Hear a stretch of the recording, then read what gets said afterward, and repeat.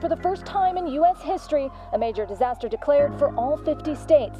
COVID 19 infections on the rise. This pandemic is destroying life and livelihoods for too many vulnerable families here in America and around the world. Just the extraordinary loss of life is absolutely tragic. 671 New Yorkers died on Sunday, which is about 100. No foundation can replace the role of government. Right now, during this crisis, we need government leadership, government investment, and government action more than ever. At moments like this, philanthropies like the Rockefeller Foundation can use their resources and their reach to bring people together to solve difficult problems. We're bringing together school districts, mayors, governors, food companies, and delivery companies.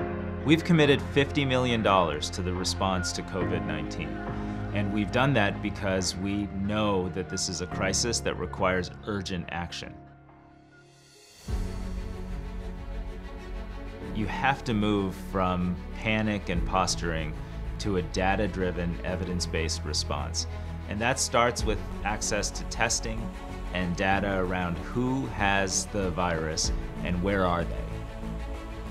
We're bringing together industry, science, and government to rapidly scale up access to testing so vulnerable families and essential workers can go back to work and be safe as they do so. We're working to make sure that treatments are available to those who are vulnerable and those who get COVID-19.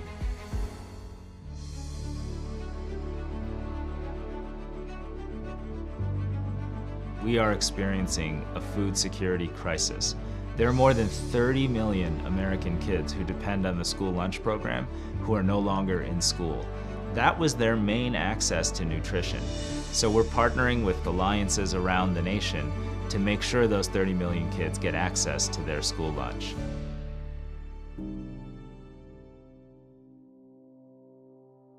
I'm also quite concerned about unemployment and a long tail recession that disproportionately burdens lower income and minority families in America. Working families in America have not had a raise for 40 years. And that's been the case even in a growing economy. Most of the gains of that economy have gone to people who have capital as opposed to those who provide labor. And as a result, 40% of all American households didn't have $400 in the bank to help them get through this crisis. We cannot just support bailouts for industry without making real investments in America's workers. The Rockefeller Foundation has focused in the United States on helping those working families that are considered asset limited and income constrained, and that's 90 million people in this country. And what I fear the most is a 10-year recovery coming out of this crisis in which those 90 million Americans do not get a shot at advancing their lives and being hopeful about their children's futures. And the actions we take right now are critical to make sure that, in fact, they do. So the foundation is working with governments to make sure there are policies in place that help workers protect their families, paid family medical leave, expansions of earned income tax credit and other cash benefits for families.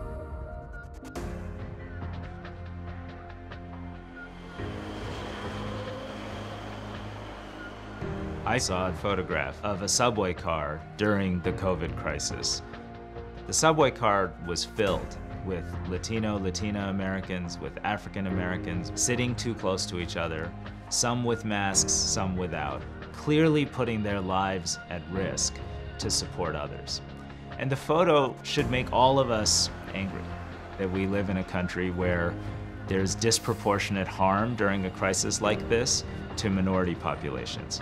We should be angry about the fact that America's workers haven't gotten a raise in 40 years and therefore have to sometimes choose between their lives and their livelihoods.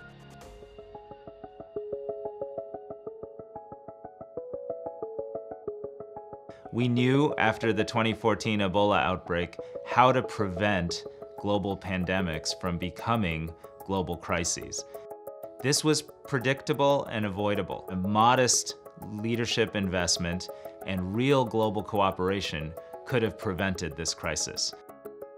Our first priority is putting in place an early warning system that would allow visibility of data when outbreaks occur and science-based decisions about sounding the alarm for when a global pandemic is a real threat. We know how to build that system. The Rockefeller Foundation has invested in data systems in public and community health in dozens of countries around the world and here in the United States. And we have a series of partners that can come together with the World Health Organization and others and make sure that that system is in place for the future so this type of crisis simply doesn't happen again.